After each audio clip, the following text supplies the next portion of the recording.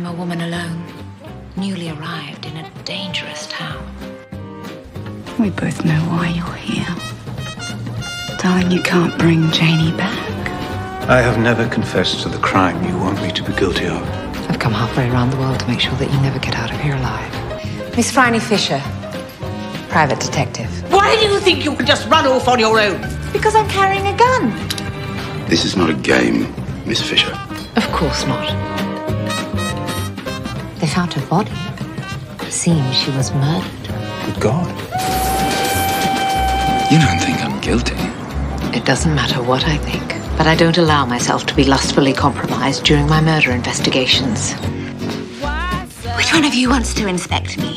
I Take me by surprise, sir. Oh my, what eyes you have. You might go for help. Things could get interesting around here. Thought they already were.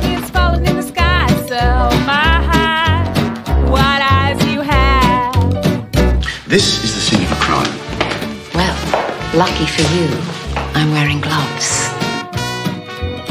Foyle believed he needed four goddesses to protect his journey to the afterlife.